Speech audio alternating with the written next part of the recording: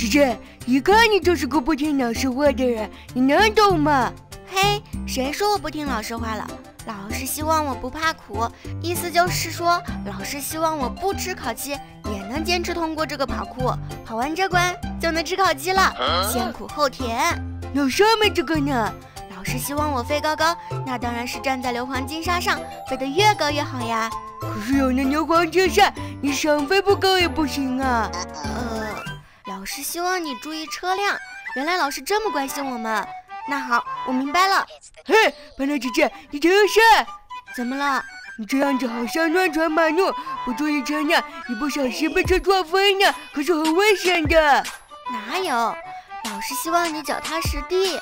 可是这地方好像没有地呀。哎呀，老师的意思是说，稳稳地踩在方块上走，不要妄想去踩到竹子上。老师希望你不要戏水。哎，我的姐姐，你居然不听，还往水里跳。这下被你泥抓住了吧？我这是在体验吸水的危害。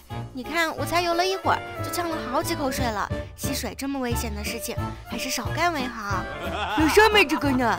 老师希望你慢点走。姐姐，你走的那么快，还说你听老师的话？这有传送方块，我想慢也不行呀。老师希望你天天向上。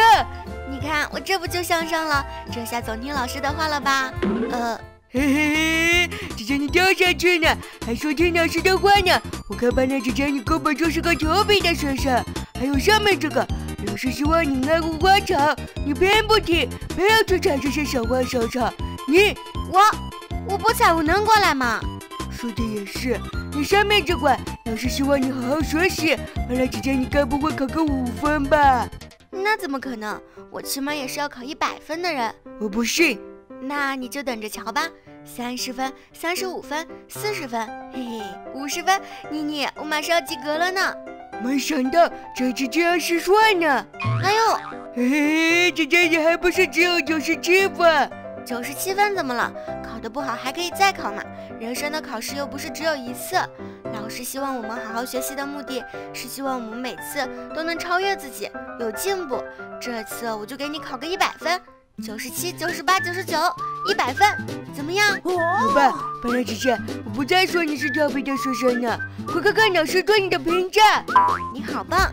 今天你的表现完全超出了我的期待，日常生活中也要时刻记住老师的提醒。嘿，评价很高呢。那当然。